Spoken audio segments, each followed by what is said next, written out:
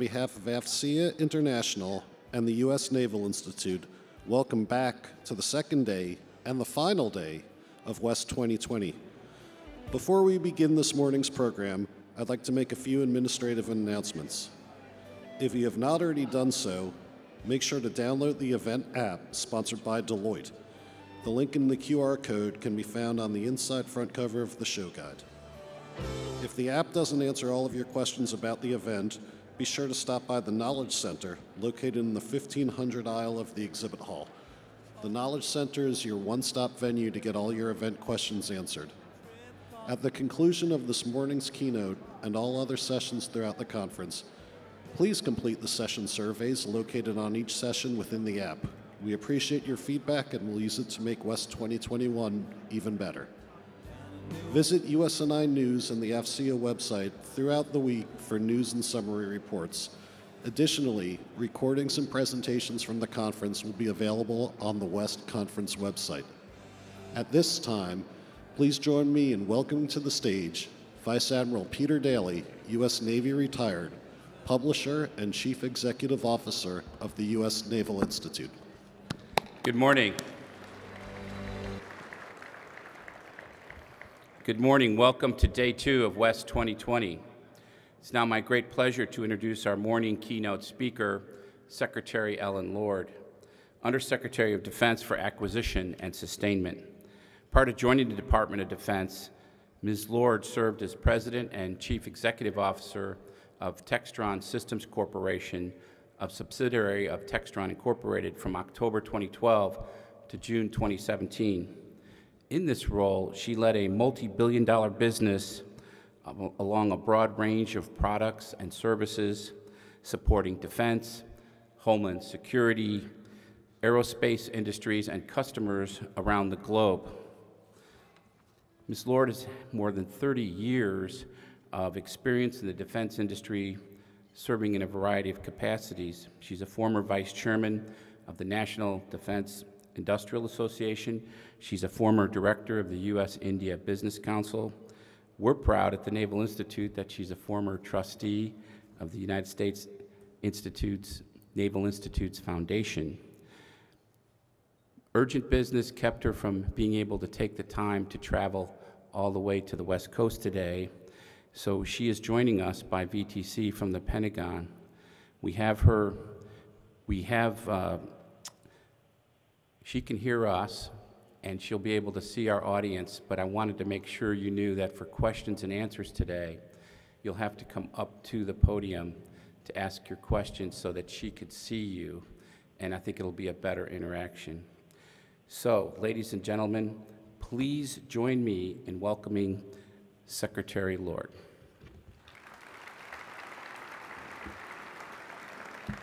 Good morning, everyone, and thank you, Pete, for the introduction. I'm sorry that I'm not able to make um, the trip to sunny, warm San Diego this week, but I appreciate the opportunity to address everyone from here inside the Pentagon.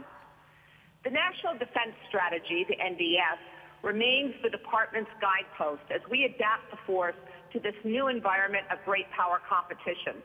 The shift from countering violent extremist organizations to countering coercion and subversion through predatory economics, political subversion, and military force.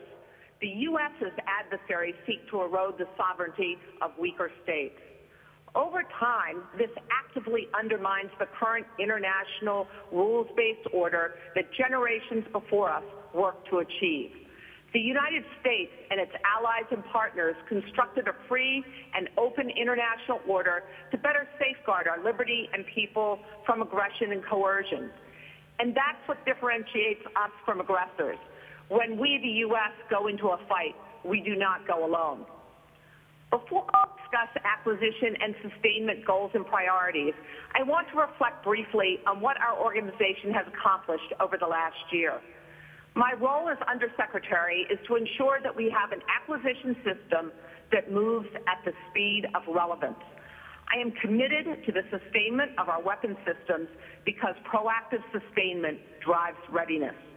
To that end, 2019 was a momentous year for the team, but there's still a lot of work to be done.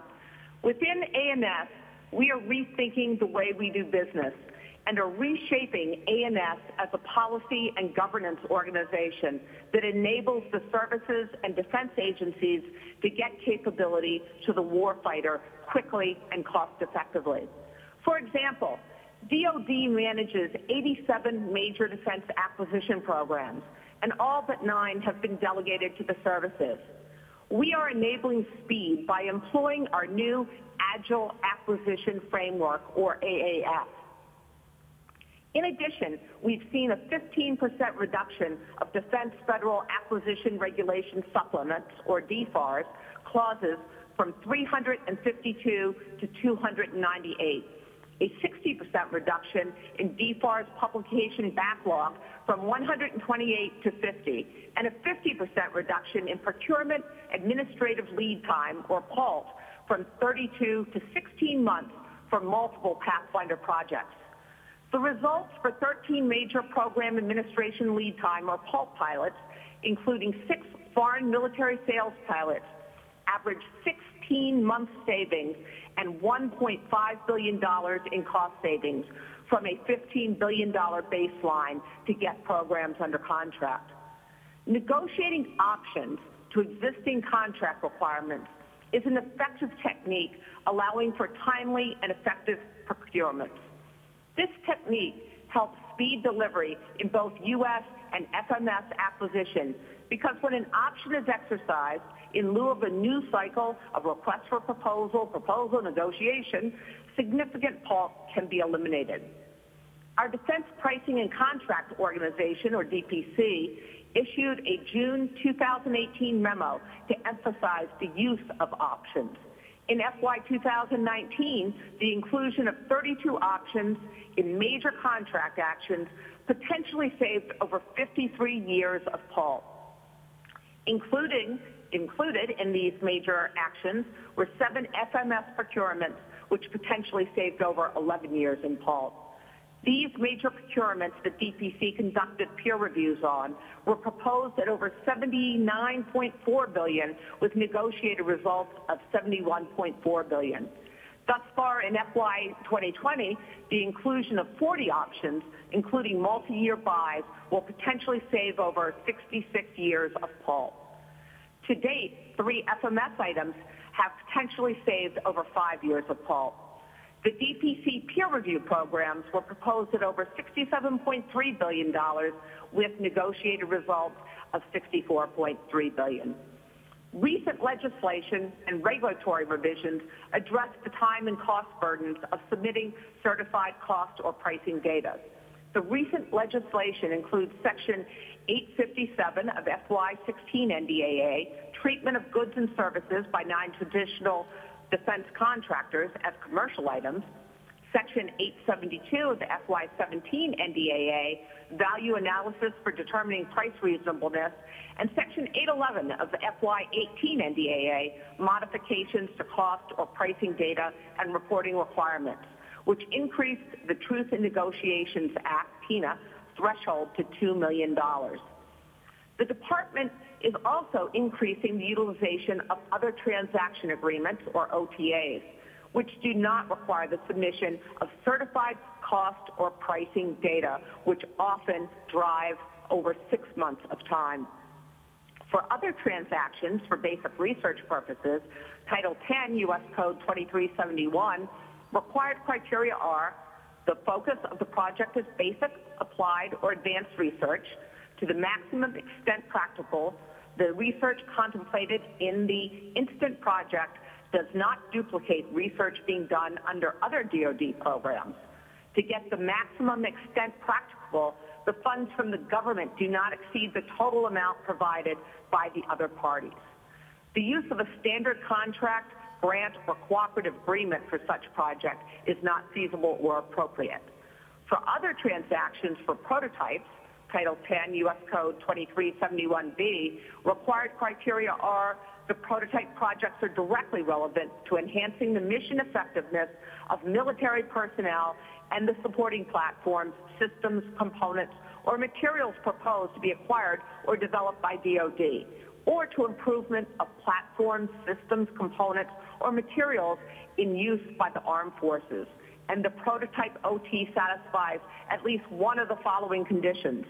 There's at least one non-traditional defense contractor or nonprofit research institute, institution participating to a significant extent in the prototype project, or all significant participants in other transactions other in the transaction other than the federal government are small businesses or non-traditional defense contractors, or at least one-third of the total cost of the prototype project is to be paid out of funds provided by parties other than the federal government, or the senior procurement executive for the agency determines in writing that exceptional circumstances justify the use of a transaction that provides for innovative business arrangements or structures that would not be feasible or appropriate under a contract or would provide an opportunity to expand the defense supply base in a manner that would not be practical or feasible under a contract.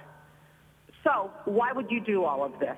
Because it cuts one to two years from a traditional procurement. Furthermore, the department has initiated a contract financing study that will consider how best to attract small businesses and non-traditional defense contractors as a major tenant. The study will further examine the existing types of current contract financing methods, such as progress payments and performance-based payments, something our industrial pay base has been paying very, very close attention to. Another major accomplishment was the rewrite of the 5000 series, the overarching policy guide on DoD acquisition. This overhaul is the most transformational change to acquisition policy in years and an effort that we anticipate to have long-lasting positive effects.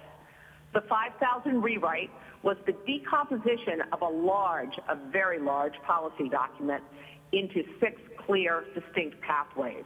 These multiple pathways facilitate the flexibility and efficiency needed to capitalize on simplified acquisition methods and improve DoD's ability to benefit from commercial sector offerings. Since a large number of you are probably looking at your phones right now, why don't you go ahead and visit AAF. AAF is for Adaptive Acquisition Framework dot dau dot edu for the pathway graphic and more information. The six pathways you will see on the site's homepage are one, urgent capability acquisition, two, middle tier of acquisition, three, major capability acquisition, which is our traditional acquisition pathway, four, software acquisition, which I want to talk more about later, defense business systems, and acquisition of services. The goal is to simplify acquisition policy, tailor acquisition approaches, empower program managers, conduct data-driven analysis, actively manage risks, and emphasize sustainment. The acquisition policy rewrite included DoD instructions for each acquisition pathway and functional area. These subordinate functional areas are engineering, test and evaluation, cybersecurity, analysis of alternatives, cost estimate, intellectual property, tech and program protection, human systems integration, acquisition intelligence, and information technology. One of the functional areas I want to touch on briefly is intellectual property. In 2019, the department released its first policy on intellectual property, to support more effective approaches to acquisition and licensing of IP. IP must be addressed during initial contract award if it is to be effective. Acquiring and licensing the appropriate IP is vital for ensuring systems will remain functional, sustainable, upgradable, and affordable. The policy highlights DoD's IP principles and helps guide DoD to deliver world-class capabilities at an affordable cost. In other words, the government will pay for what it needs. It does not need to own all of industry's intellectual property, only which allows the ability to sustain and upgrade systems. The policy further establishes an IP cadre, which is developing DoD guidance, training, and assistance to the whole of government effort to address protection of data rights. The overall goal for this policy is to bring balance by providing the best capabilities to the warfighter in the most efficient and cost-effective manner for the taxpayer by respecting, rewarding, and incentivizing industry for continued innovation.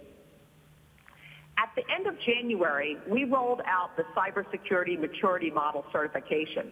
The CMMC is our DoD metric to measure a company's ability to secure its supply chain. It's no secret that we are at cyber war every day. Cybersecurity risks threaten the defense industry, our national security, as well as our partners and allies.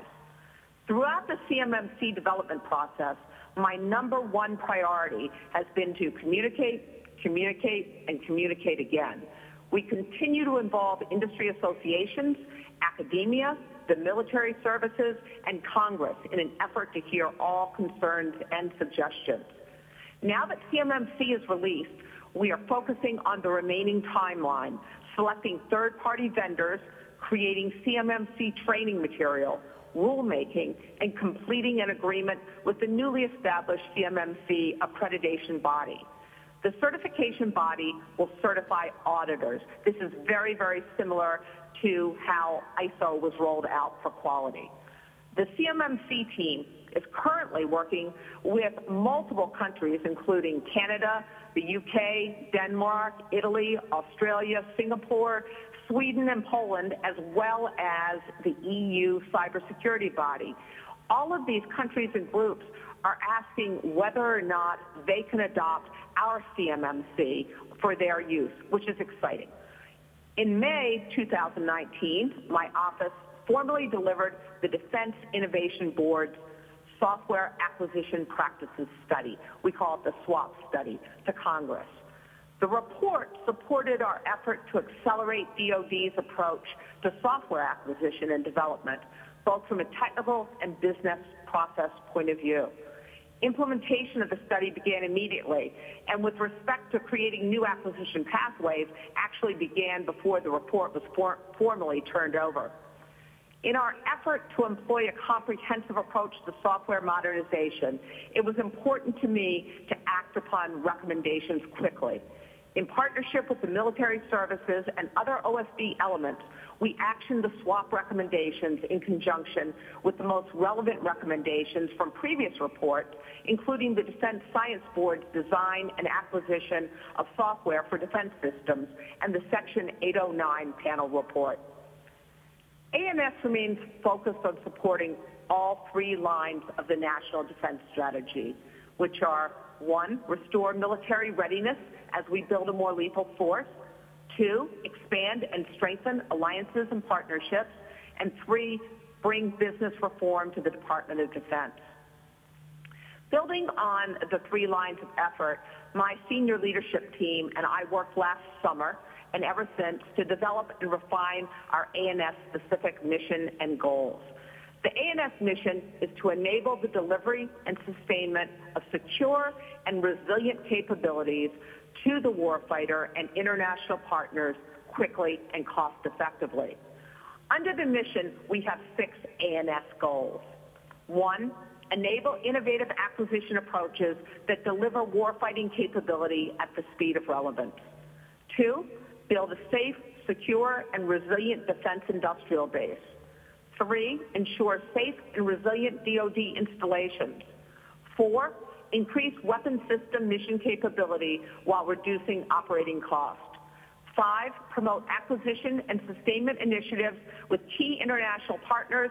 And six, recruit, develop, and retain a diverse acquisition and sustainment workforce. I'd like to step through each of these goals very briefly. So, to begin, the first goal is enable innovative acquisition approaches. The most obvious example here is the 5000 rewrite I highlighted earlier. Successful implementation of these acquisition change efforts will reduce timelines, lower costs, and improve quality while rapidly introducing new technology to enhance the capability of the warfighter. A key focus area for the team now is to ensure that we have business processes that allow us to rapidly implement technological advances. I believe that our business practices have held us back from implementing technology in the past, and I want to change that. I spoke earlier about the rewrite of the 5000 series acquisition policy and the six new pathways. I'd like to talk for a moment about the software acquisition policy, as software is so fundamental to everything we do in the department. Based on the findings of the Defense Innovation Board Software Acquisition and Practices Study, the Office of the Secretary of Defense is pursuing pilot programs in FY 2021 to evaluate and experiment with a single type of funding or color of money for software and digital technology. AMS and the Comptroller have collaborated with Congress to create a new budget activity called BA-8 under the Research Development Test and Evaluation Office to support the pilot programs. We have partnered with the services and fourth estate agencies to identify nine software-intensive systems as candidates for the pilot. Pilots include both business systems and weapon systems. The detailed list of programs being considered and funding amounts will soon be released. Software and digital technology funds are being moved into BA8. They were previously allocated across RDT&E, procurement, and sustainment. So why is this important? Software is similar to hardware in the sense that it does follow a cycle of development, test, production, and sustainment. However, the difference is the speed in which software can move through this cycle versus hardware. I like to think of hardware-enabled but software-defined systems. So a software update can be coded, tested, and pushed to operations in hours, sometimes in minutes. Thus, the cycle through the color of money is continuous. The software and digital technology pilot allows for a controlled environment to test if a single appropriation facilitates a faster cycle to deploy operational capability, as has been suggested both by our internal and external reports. Also, we clearly communicate the importance of software and digital technology when there is a specific appropriation. OSD needs congressional appropriations approval and authority to proceed in FY 2021 Appropriations Act. Evaluation metrics and procedures to evaluate the effectiveness of a single budget activity or funding type for software and digital technology have been developed, and if approved to proceed, the pilot programs will run for multiple years and be evaluated using the above measures. If a single budget activity is shown to aid program success in software and digital technology, that evidence will be used to request the creation of a new software and digital technology appropriations. One key point to make here is that the goal eventually is to ask for a new type of money, a new appropriation, in an, in an effort to increase our ability to do oversight, also have insight, and deliver warfighting capability more effectively. So goal number two, build a safe, secure, and resilient defense industrial base. This goal is best explained by looking at it as a defensive effort as well as an offensive effort. On defense, one example is the Committee on Foreign Investment in the United States, or CFIUS an interagency committee that reviews certain transactions involving foreign investment in U.S. businesses and whether foreign investment in U.S. businesses will have an adverse national security result. The interagency team includes the Departments of Treasury, which chairs it, Justice, Homeland Security, Commerce, Defense, State, Energy, the Office of the U.S. Trade Representative, and the Office of Science and Technology Policy. When appropriate, the Office of Management and Budget, or OMB, Council of Economic Advisors, National Security Council, National Economic Council, and Homeland Security Council, all are White House entities, observe and participate in CFIUS activities. The committee can recommend mitigation or even block trans or recommend a blocking of a transaction to the president who makes the final determination. But we want to do more than beyond defense. So on the offensive, our industrial policy team has launched a trusted capital initiative. This concept takes a more proactive approach towards protecting U.S. supply chains, domestic manufacturers, and American technology from foreign adversaries like China who clearly seek to under, undermine our national security.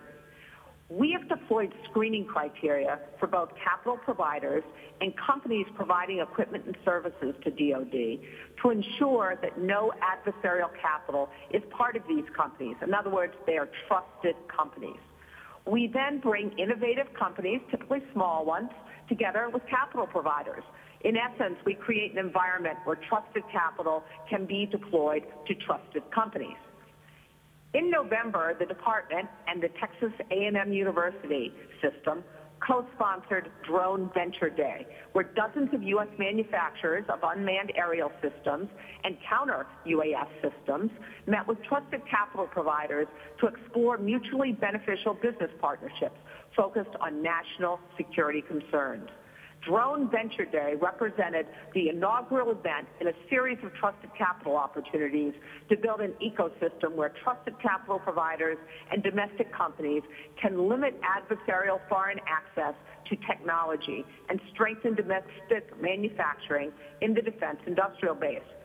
Trusted Capital will be holding and partnering with the services, the military services, on other events throughout this year, including AFWERX South by Southwest Pitch Day, which will be March 12th through 13th in Austin, Texas, which will focus on artificial intelligence, quantum, satellite, cybersecurity, autonomous aircraft, and supply base and logistics. We will also partner with the Army at TechSearch March 17th to 18th in Huntsville, Alabama, which will focus on biotech, radars, machine learning, and advanced batteries. Our challenge is to scale this activity, which will be through a website that allows vetted manufacturing companies and equity firms to explore potential business relationships. We'll provide the rules, then we step back. So goal number three, ensure safe and resilient DoD installations. In our effort to make sure DoD installations are resilient, we are looking at small modular reactors. We are talking about energy resiliency here. So if you go off the grid, if you lose your power supply, we have these advanced, very small modular reactors that have the potential to really enhance installation resilience through assured access to reliable, quality power in support of our critical missions and remote operations. In the FY19 NDAA, um, we had the requirement um, for the Department of Energy and DoD to explore a pilot program to demonstrate at least one very small reactor at DoD locations by 2027. We are working with DOE, DoD, and undertaking two parallel efforts. One within um, A&S we have our DASD for Energy pursuing demonstration of a commercially developed nuclear regulatory commission license, about 2 megawatt um, electric um, SMR, small modular reactor, to power at a permanent domestic military installation. And then within our research and engineering group in the Strategic Capabilities Office, or SCO, um, they are funding development and construction of a prototype advanced mobile nuclear microreactor for use in remote and forward operating locations to power battlefield weapons and base camps and reduce logistical risk created by the need for fuel. SCO received appropriations in FY20 NDAA to pursue development of its prototype. On December 5th, um, 2019, um, Ms. Young, our DASD for Energy, met with her DOE counterpart to discuss DOD's small modular reactor demonstration effort to evaluate the energy resilience capability and cost effectiveness of this technology at a remotely located domestic installation with unreliable power and high energy costs. During the meeting, DOE shared that DOD's interest has incentivized the nuclear industry to develop and scale small modular reactors to meet DOD requirements, which should help drive the cost competitiveness of the technology. Goal number four is to increase weapon system mission capability while reducing operating costs. As the department's largest joint and international acquisition program in history, I focus a significant amount of time on the F-35 Joint Strike Fighter. My office and the F-35 Joint Program Office continue to improve the execution of the program, including development, production, and sustainment of the aircraft. Last October, we announced a $34 billion F-35 contract for lots 12 through 14 for the delivery of 478 F-35s. Of note, in overall cost, from lot 12 to lot 11, we have seen the following reductions. 12.8% for the A model, 12.3% for the B, and 13.2% for the C model. Reducing sustainment costs to meet service-defined affordability constraints is a huge priority for our government and industry team. Efforts to increase readiness will require investments in the near term, but these investments will create a more effective F-35 sustainment system, driving down life cycle costs. The department issued a new F-35 Life Cycle Sustainment Plan, LCSP, that identified nine success elements to achieve warfighter requirements. Of these nine lines of effort, we are making strides to address three key elements that are vital to improving F-35 fleet readiness and meet warfighter requirements. Accelerating organic depot repair capability, improving reliability and maintainability, and delivering ODIN, the Operational Data Integrated Network, to replace ALIS and improve the F-35 fleet sustainment and readiness performance. Goal number five is promote acquisition and sustainment initiatives with key international partners. A&S is leading the department's efforts to deepen engagement on acquisition matters with our allies and partners. Culture is shifting to integrate early planning for exportability into our requirements and acquisition systems, ensuring that DoD programs plan for technology sharing and foreign sales from the outset. A&S's specific efforts to integrate international acquisition and exportability planning across the defense acquisition system help strengthen the U.S. defense industrial base. Senior leaders across the department continue to stress to our EU partners that European Defence Fund, or EDF legislation, and Permanent Structured Cooperation, PESCO, guidelines for third-party participation must permit the United States and other non-EU NATO allies to take part and lend our expertise to these initiatives. We need to pursue efforts that complement NATO activities and bolster transatlantic cooperation, not ones that are competitive or duplicative, especially as allies take a closer look at the challenges posed by a growing and more assertive China. Challenges such as the theft of intellectual property and non-transparent investments threaten us. NATO allies must carefully consider the long-term risks of the economic and commercial choices they make, particularly regarding the integration of Chinese telecommunications into European infrastructure. Improving DoD planning for exportability will increase industry competitiveness, strengthen the defense industrial base, and lower unit costs for the U.S. national defense. Foreign sales and cooperation in research, development, and acquisition allow for system interoperability between allies and partners, which is incredibly important because when we fight, we do not do so alone. Goal six, recruit, develop, and retain a diverse acquisition and sustainment workforce. Two extremely important initiatives covered here. One, DAU transformation and workforce transformation. DAU, the Defense Acquisition University, is a very important tool for the workforce. We are currently piloting DAU credentials in the areas of agile, digital engineering, services for acquisition. These are both for acquisition professionals and non-acquisition professionals. Stemming from customer feedback, our program managers, our contract professionals, this credential program is intended to help those professionals meet emerging needs for specific skills in the workplace. The program provides responsive and timely, the key here is timely learning to grow and deepen skills. By shifting away from the three tiers of learning blocks front-loaded in a person's career toward a more lean set of core learning complemented by one or more specialty credentials, workforce members are better prepared to perform their job and can more quickly get the additional training they need when job requirements change. I'm proud of DAU's modernization effort.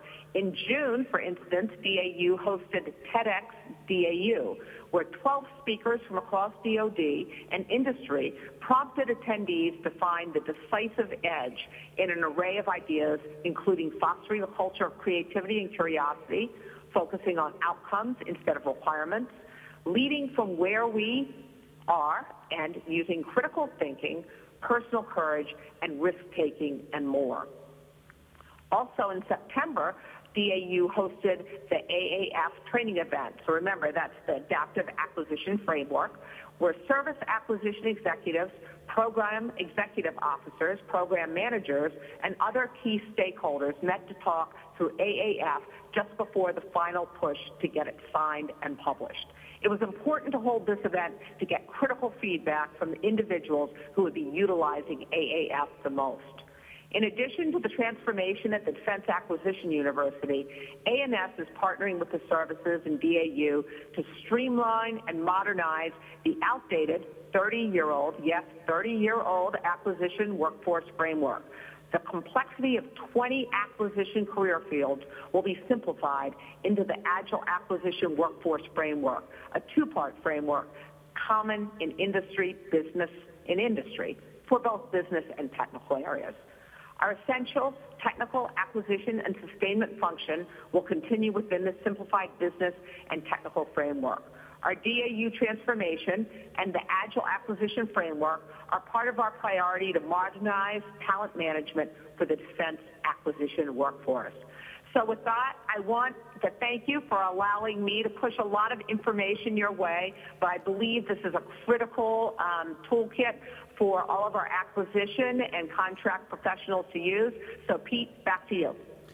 Well, thank you, Secretary Lord. That was a lot to unpack, and I think we have a lot of questions, and uh, we're going to bring people up to the podium so that you can both uh, see and hear the questioner. And I ask people to queue up. Uh, it's not every day you get to ask the Secretary of Defense, Undersecretary of Defense for Acquisition, a question.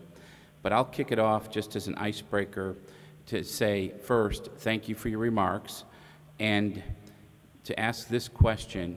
It appears that the top line uh, for the foreseeable future may be relatively flat and maybe even in real terms decline.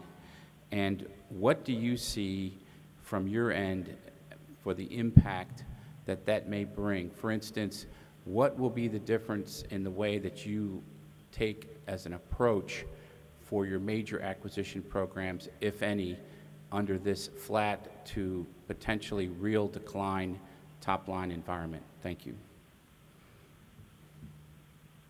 Great question. Um, you're absolutely correct. Um, we are probably only going to have a minor increase in FY21.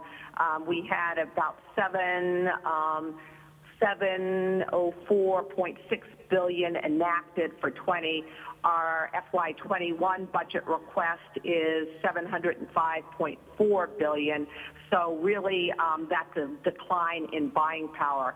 So what we did when we developed this year's budget is made sure that it was a strategy driven budget. We go back to the NDS great power competition.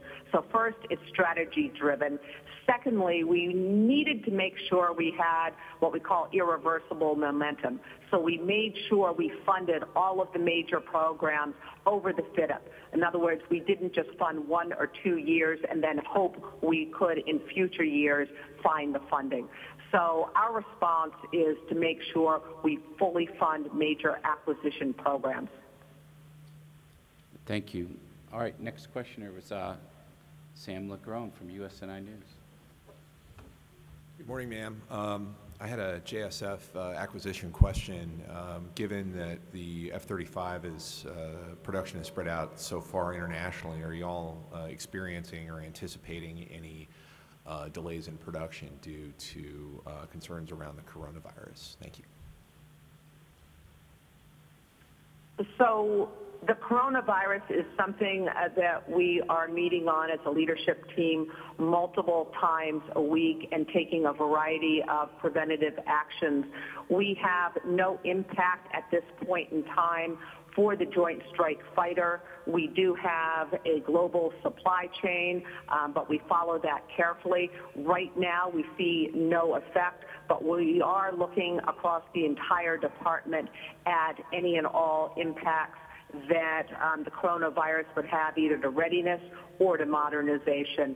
So more to come on that.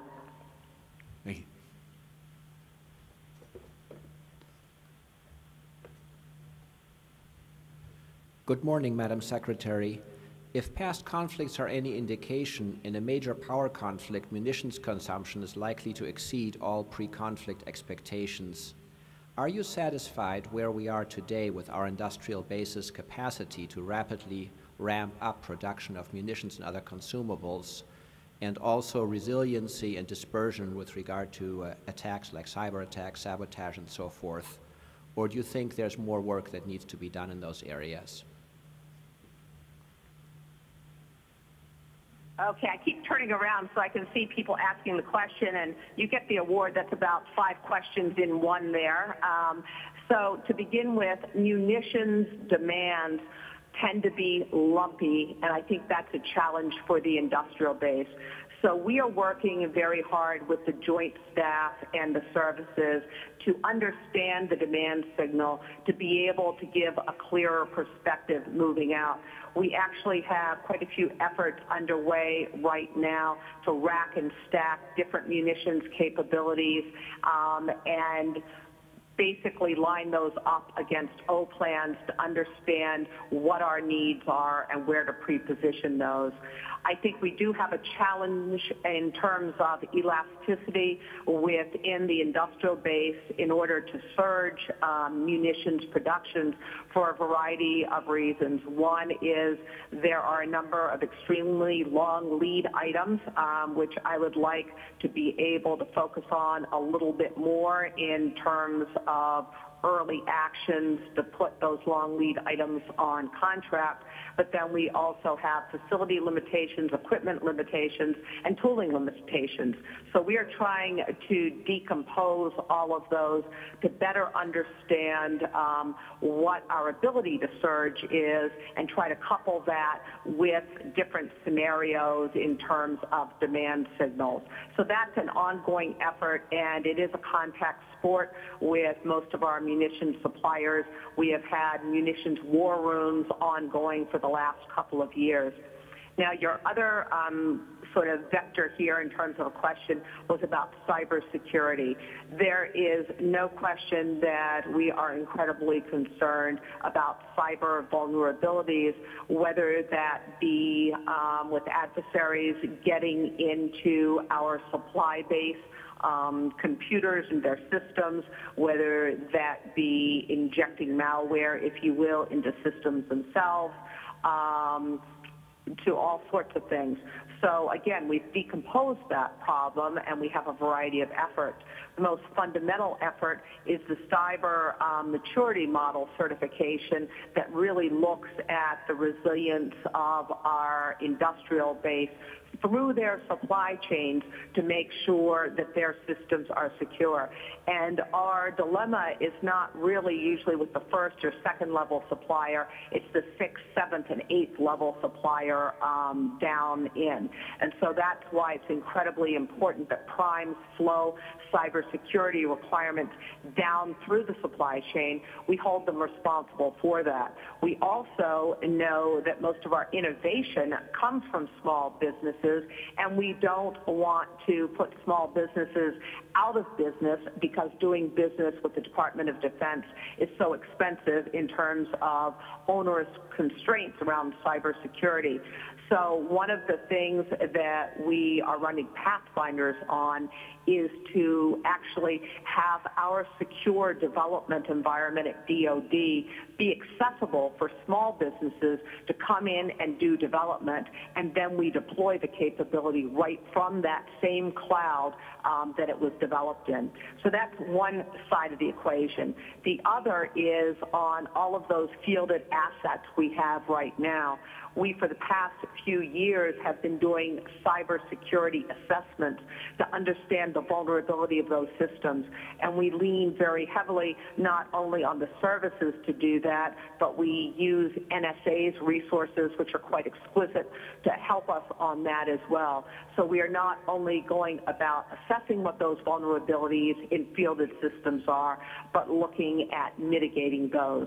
So there's quite um, a churn of activity on cybersecurity everywhere, but I think it is a threat um, that is actually incredibly transformational in terms of vulnerabilities it places on us, and we are working very, very closely with the defense industrial base to identify and mitigate those risks. Thank you.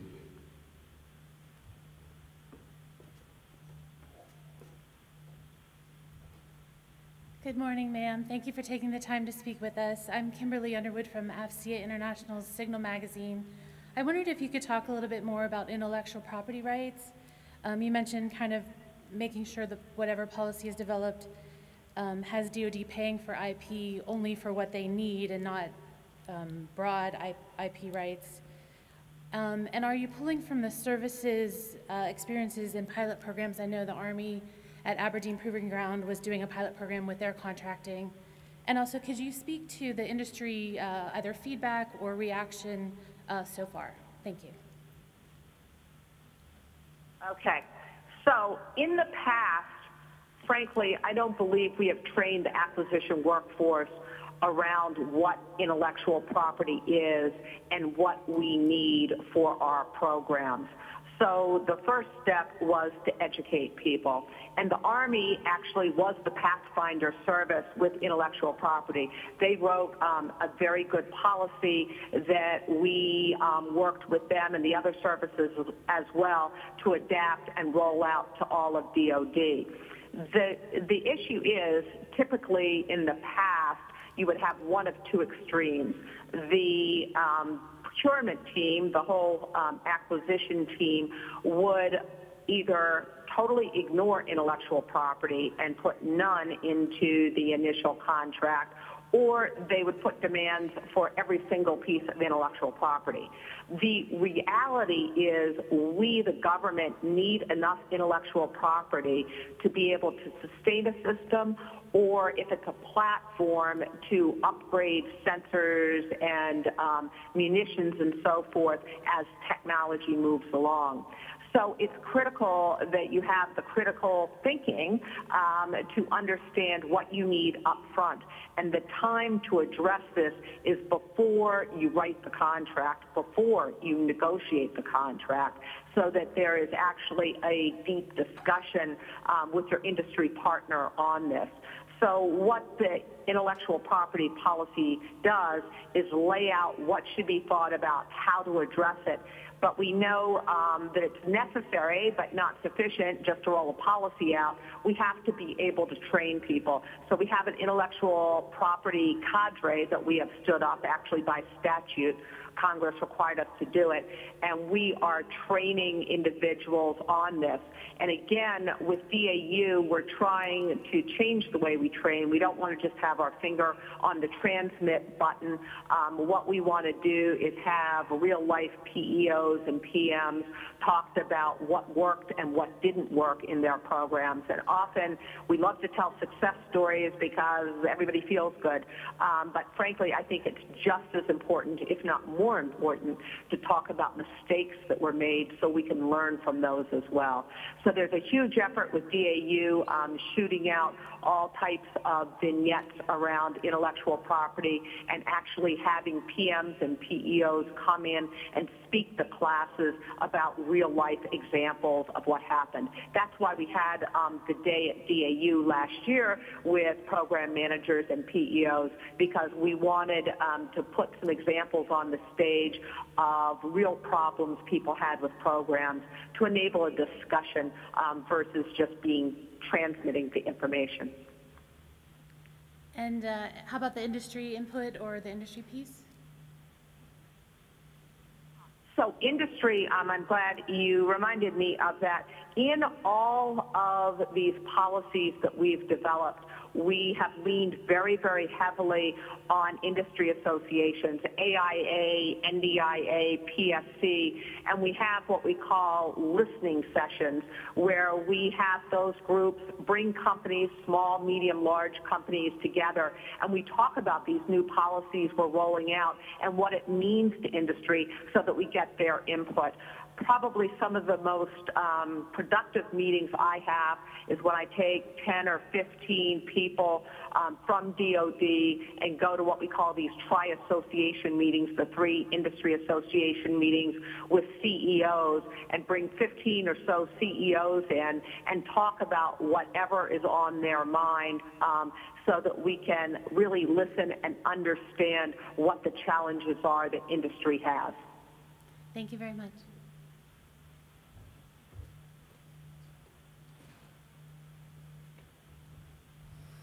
Hey, good morning. I'm Jared Serbu from Federal News Network. J just a quick follow-up on the software color of money issue that you raised. I, if I heard you right, I think you said that it's that, that the pilots are each going to run for a period of years. And I'm just wondering, do you also expect it to take years before you have results that are persuasive enough to take to Congress, or, or is the hope that you, that you could get legislation sooner than that? I am always hoping to move more quickly, but I'm also realistic. Um, this is a major muscle movement for Congress. Um, that's why we're socializing this for quite some time before we begin, because it's a very, very significant move in structurally how we get money. Um, the I think we will begin to see results almost instantaneously because the administrative burden of making sure you are charging the right um, you know, development number, the right production number, the right sustainment number slows things down. And we know with coding, we're getting feedback constantly, and we want um, people to literally be able to update systems on the fly. Now, that's worrisome if you're an appropriator because you're responsible for making sure you know exactly what you're getting for your money. Um, this is a little bit more of sprints and doing things differently. I believe that since we have so many really big brains out there supporting us on this effort. Um, Eric Schmidt um, led the DIB study. We have all kinds of fantastic people on the Defense Science Board that have helped us. I believe there's enough inertia out there that hopefully we can move this in a year or two. But I'm also very realistic about the fact that um, we here in the department cannot give ourselves the authority. We can lay out what we're trying to do. We can provide the proof points, um, and then we can ask Congress to enact. But this is where we can have a partnership. Um, if we all believe this is the right thing to do, and I think this is a perfect case of where we are not innovating on the business side of things nearly as quickly as we are innovating technologically, where we can all work together is to have industry and industry associations echoing and amplifying what we're talking about, why this would be helpful. It's a powerful thing um, when the department and when industry have the exact same objective and can clearly articulate that to staffers and members on the Hill. So um, we would like all the support we could get. We're not sure we have it absolutely right, but that's the whole reason we want to get out there and practice this new behavior to make sure we can tailor it to get it right. And I think it will pay off. Understood. Thank you.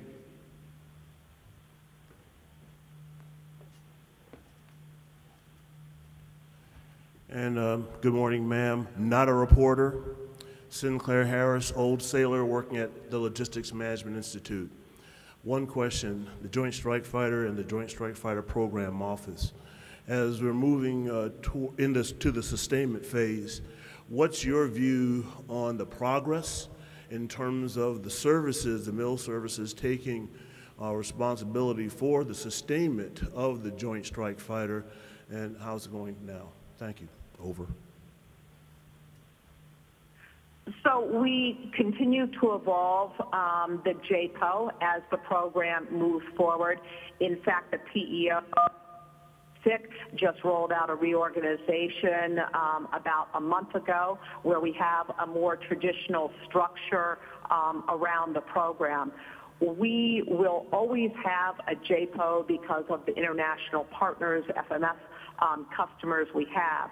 However, as you note, we are moving um, into more and more of a sustainment mode since we have so many aircraft out there, and we are transitioning the sustainment of those aircraft more and more to depots um, with repair of repairables and so forth um, at the actual depot location um, with the line replaceable units versus going back and having whole systems changed out. We have quite a demand signal um, from the Air Force, the Navy, the Marine Corps to do this because they need operational availability higher. They need cost per flight hour lower. Part of that is um, using their organic workforce to get those reps and get things more quickly done. So there is a significant demand signal. Um, we have quite a high level of engagement from um, General Berry in the Air Force, um, from Admiral Peterson in the Navy, and many others. And I would say we are picking up momentum, especially as we are upgrading ALIS. Um, the autonomous logistics information system that um, is now not me- really moving at what I would call the speed of relevance. We are reworking that using much more modern software techniques into Odin. That's going to be a game changer for us. That will give us information, actionable information, I think much more quickly. It's a great partnership with Lockheed Martin to get that done. That will help the services be able to streamline their operations and make sure they have the right part at the right location at the right time to keep those aircraft flying. Um, so more and more service involvement, um, contact sport. We talk a lot about it, but more importantly, we're seeing progress and action standing up the lines at the depots. Thank you, ma'am.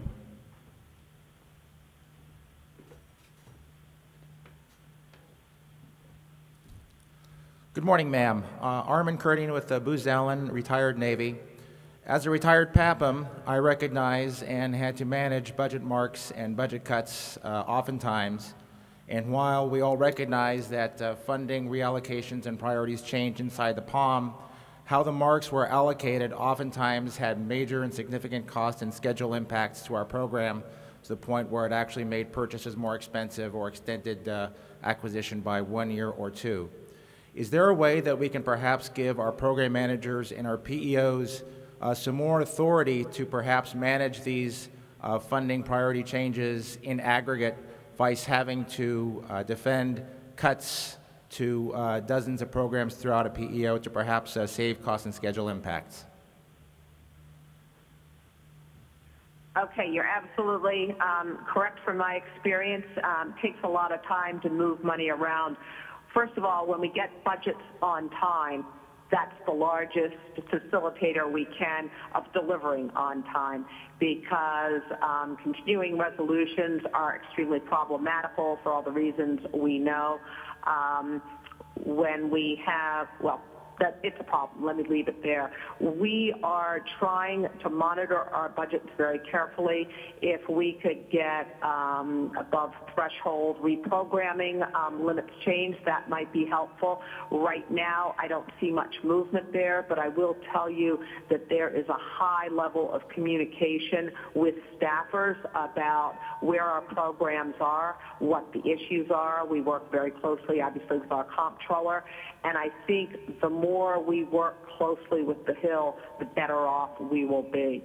So we will try to make things easier for the program managers and the PEOs, but I think it's really communication between those groups, comptroller, and with the staffers that really kind of grease the whole activity to happen.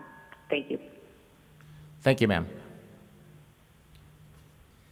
Well, Secretary Lord, we tremendously appreciate your taking the time. We know that uh, given the season that we're in and some of the particular attributes of this particular season, um, you were not able to come out, but you kept your promise and addressed our audience, and we truly appreciate it, and I think we should give the Secretary a big hand. Thank you very much. I really appreciate the opportunity to talk about some of the work we're doing. And I, particularly to industry, will say that I look at our industrial policy team as the help desk for industry. So I hope you all be um, talking to us about what we can do to better help you. Thank you so much. Thank you again. Bye-bye. Okay, this concludes our morning keynote, and uh, invite everybody to uh, join the exhibits on the floor. Thank you very much.